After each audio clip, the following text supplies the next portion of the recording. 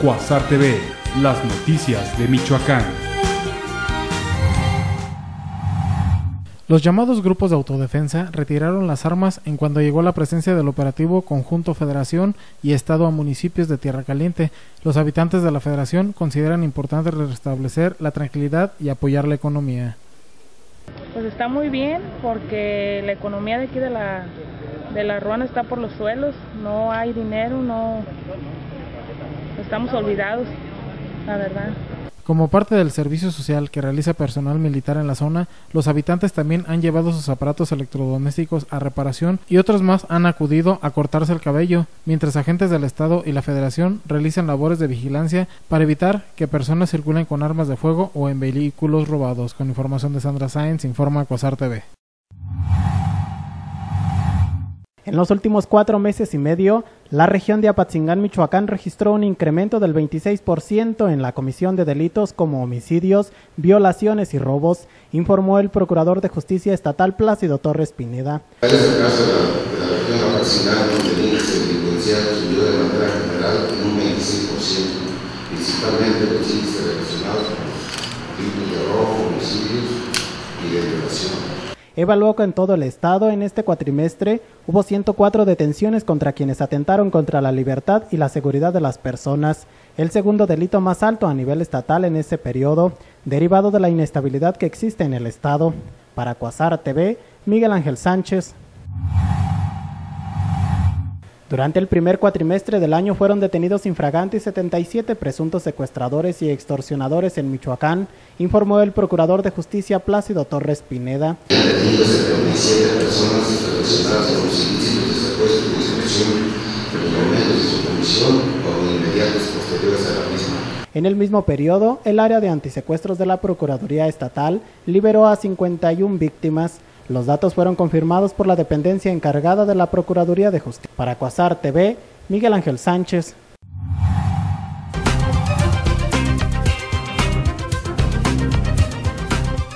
Con una ceremonia eclesiástica, maestros, alumnos y la Junta Directiva de la Universidad Vasco de Quiroga conmemoraron el cuarto aniversario luctuoso del ingeniero César Nava Miranda, durante la ceremonia, el rector Raúl Martínez Rubio dijo que los compromisos del fundador de la universidad siguen vigentes, sobre todo el de luchar por la vanguardia educativa y la educación de calidad, informó Elena Cíntora.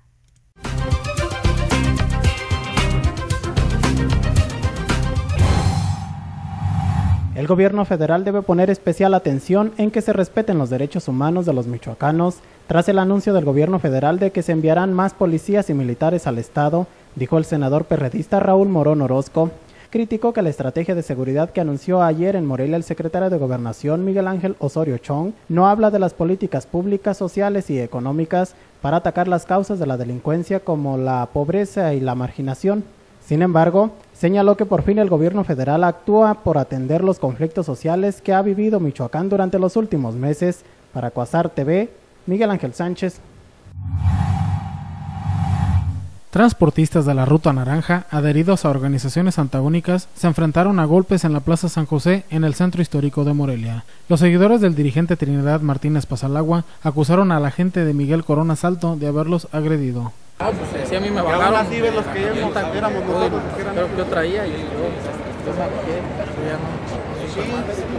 ¿Cuántos fueron los que golpearon o los que estuvieron?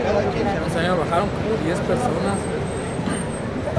En la trifulca hubo un descalabrado y tres combis con las llantas ponchadas. Choferes agredidos dijeron que les quieren quitar la concesión porque se salieron de la organización que comanda Miguel Corona Salto. Con información de Dulce Arriaga, informa Cuasar TV. Por tercer día consecutivo, vecinos de la colonia Fidel Velázquez en el poniente de Morelia mantienen bloqueado el carril lateral de la avenida Madero en rechazo a la puesta en operación de un gasoducto que transportará gas natural desde la intersección del libramiento poniente a la colonia industrial. Somos todos que no estamos de acuerdo y sobre todo porque se ha metido a engaños a engaños desde que empezaron a trabajar, fue engaños diciendo que era cableado para cableado de luz, que era para el agua y el chiste que nunca se nos dijo la realidad. Los colonos argumentan que puede ocurrir una desgracia ante una eventual fuga del energético. Protección Civil Municipal aclaró que no ha autorizado el funcionamiento de la obra, por qué la empresa constructora Gas Natural de Uruapan no ha presentado el peritaje que garantice la calidad de la tubería. Para Cuasar TV, Miguel Ángel Sánchez.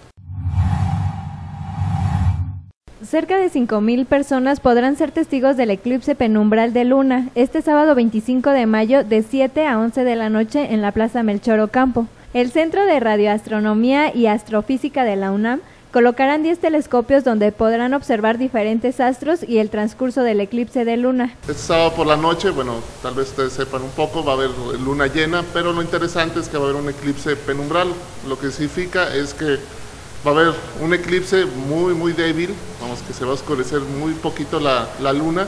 El académico invitó a la ciudadanía a asistir este sábado a la Plaza Melchor Ocampo de Morelia y tener la oportunidad de observar un eclipse lunar. Desmintió que la observación del fenómeno cause algún daño a las personas. Para Cuasar TV, Dulce Arriaga. Activistas en pro de los derechos de los animales protestarán en Morelia a través de una marcha que realizarán este domingo 26 de mayo en, en, contra del maltrato y abandono hacia las especies de la fauna.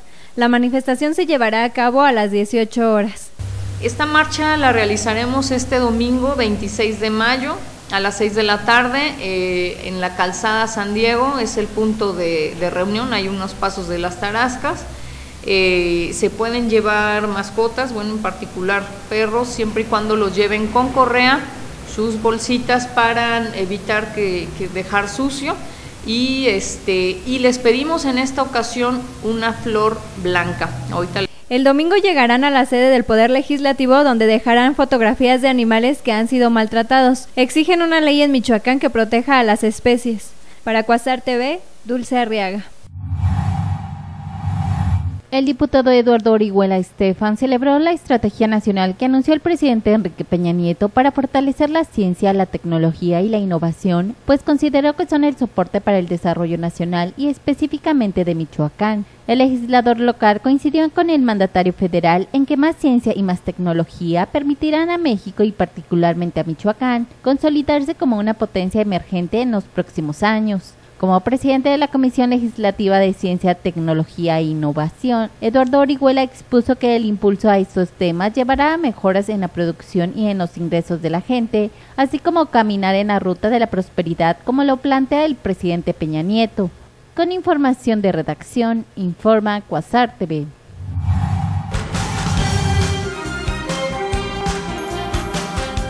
Cuasar TV, las noticias de Michoacán.